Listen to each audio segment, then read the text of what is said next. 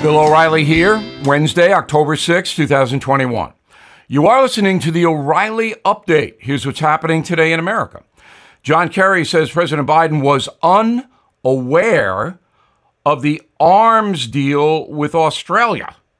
The FBI targets some parents opposing critical race theory. A majority of Americans view both political parties with disfavor. Shoppers noticing the rise of shrinkflation at grocery stores. Also ahead, worried about your money? We'll have some analysis that may help you out. But first, climate czar John Kerry telling French reporters Joe Biden was completely cut off from his administration's decision to sell submarines to Australia. That sale set off tension between the U.S. and France because Paris was aced out of billions of dollars. Said Kerry, quote, he asked me what's the situation. He had not been aware of it. He literally had not been aware of what had transpired, unquote. That is further indication that President Biden is not up to the job. The Department of Justice asking the FBI to investigate residents in some school districts who are speaking out against critical race theory. The DOJ made the request after the National School Boards Association linked unhappy parents to domestic terrorists. Attorney General Garland telling federal agents that adults can engage in heated debate but cannot threaten administrators or teachers. New poll from Gallup says a majority of voters hold a negative view of both political parties. 55% disapprove of Democrats, 56% of Republicans. Historically, Americans have been more positive toward the Democratic Party than the GOP, but now uh, the hatred, if you will, is pretty much spread equally. New phrase making the rounds of grocery stores across the country shrinkflation. Shoppers now may notice smaller products on the shelves. Companies are reducing cereal, paper towels, pretzels, almost everything to maintain prices as inflation goes up. You pay the same for what you want, but you get less. Ice cream consumers hardest hit. A tub of Breyers went from 64 ounces to 48. That's a 25% reduction for a similar price. In a moment, more about your money. Right back. My trusted technology research executive, Jeff Brown, has a must see video out right now called The Great Reset. This reset has been in the works since 2015. Now the circumstances are just right, and it appears to be coming to fruition. So please pay attention because in Jeff's briefing, he will show us exactly what's going on, the proof, and how we can best prepare. He'll also give us the name of an investment he believes we must own if we hope to have any chance at preserving our hard earned cash.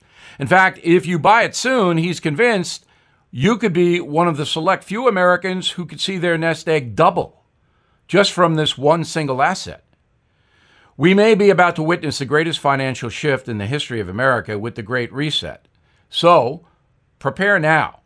Go to jeffbrowntech.com. That's jeffbrowntech.com. Time now for the O'Reilly Update message of the day. Your money, is it at risk? Could be. The socialist wing of the Democratic Party obviously wants to take as much money from affluent Americans and corporations as possible. There's no disputing that. So let's look at the stats and then we'll analyze how you can protect your hard earned dollars. The average American household earns $74,664 a year.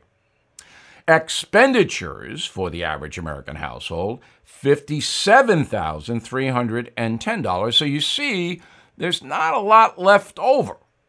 One in 10 of us earn $100,000 or more. 28% earn 50,000 to 100,000. 19% have zero saved to cover any emergency. 31% have less than $500 in saving. That is 50% of Americans living on the edge financially. Less than 30% of us have even $10,000 saved for retirement. 56% of adults own stock. By the way, these statistics are from the IRS and the Census Bureau. Here's more.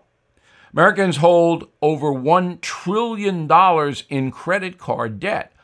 157 million Americans have credit card debt to pay off. That's 63% of the adult population. So you can see that any rise in taxation will hurt most Americans very much. President Biden says only the affluent will pay more, but that's not true, and we are seeing it right now as gas and food prices rise substantially. Once you tax or interfere with private companies, they raise prices. Biden is certainly interfering with the fossil fuel industry. Bingo, everybody pays more. The socialists and Mr. Biden, who enables them, apparently don't care. Their plan is to give you more stuff to make up for the higher prices. But that is not going to work. So, what should you do? Well, if you have stocks, individual stocks that you're holding, you need to put a stop loss on those stocks. That means that you tell your broker, I want to sell the stock at this price pretty much 15% down from where it is now. So you don't get wiped out if there is a stock market disaster. Okay? Stop loss. That's very important. Secondly, in your IRAs and your retirements and your college funds, you have mutual funds that hold stocks. Don't mess with them. I'm just holding because in my lifetime, every time the stock market's gone down, it's come back. Sometimes it takes a while. But if you pull all your money out, you're not going to make it up anywhere else. And the third and most important thing is save your money. Don't buy foolish stuff. Save as much as you can. Don't waste it. I'm Bill O'Reilly. I approve the message by writing it. For more honest news analysis, please go to BillO'Reilly.com. In a moment, something you might not know. The Tunnel to Towers Foundation honoring America's heroes and their families with 200 mortgage free homes this year. Amazing. In a moving tribute to the fallen, the foundation's chairman and CEO walked from the Pentagon to Shanksville, Pennsylvania, then on to Ground Zero, more than 500 miles through six states in 42 days.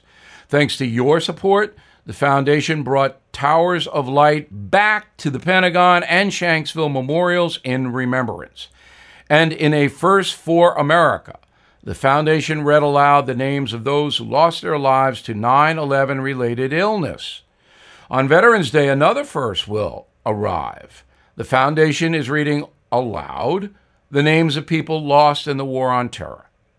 So please do some good and help America never forget. Donate $11 a month to Tunnel to Towers at t2t.org. That's T, the number two, T.org. Great cause. Now, the O'Reilly Update brings you something you might not know. Historians routinely rank Abraham Lincoln, George Washington, and Franklin Roosevelt as the best presidents. Bottom of the list typically includes Herbert Hoover, Warren Harding, Andrew Johnson. But dead last is the country's 15th Commander in Chief, James Buchanan. So, here's a question Is Joe Biden the ghost of James Buchanan? The answer to that question is maybe. Here's the story behind Old Buck. Like Mr. Biden, Jim B. was born in Pennsylvania. He worked in the state legislature there, then the U.S. House, then the Senate, then Secretary of State under President Polk. Mr. Buchanan served as president from 1857 to 1861 and did absolutely nothing while the nation was fracturing over slavery. During his tenure, seven southern states seceded from the Union, and the country teetered on the brink of war. James Buchanan allowed the situation to spiral out of control. Again, he did nothing. On his way out of office in March 1861, he dumped the whole disintegrating nation into the lap of Abraham Lincoln. The Civil War began one month later. And here's something else you might not know James Buchanan was a controversial figure in his time. He remains the only president to be a lifelong bachelor, having his young niece, Harriet Lane, assume the duties of First Lady. So questions surrounding his sexual orientation swirled.